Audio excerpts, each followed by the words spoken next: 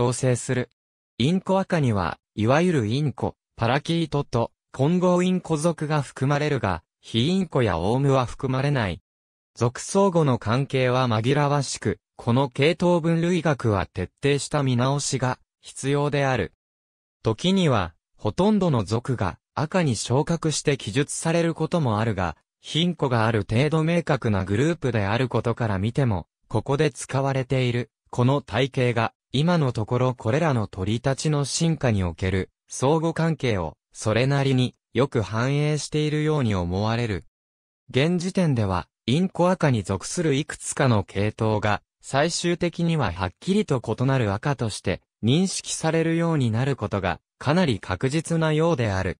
そして、戦士時代のオウム目に属するいくつかのトガが明らかにオウム科のそれよりも大きな差異を持っていることから、もしかすると、オウム科もまた赤であると考えられるかもしれない。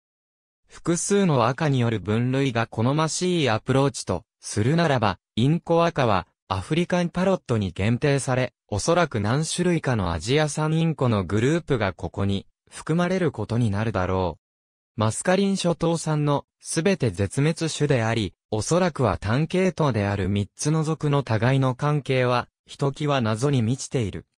地理的には、シトチーネ族に最も近いが、おそらくシタカリニリ族に属し、南アジアか東南アジアに由来する。ありがとうございます。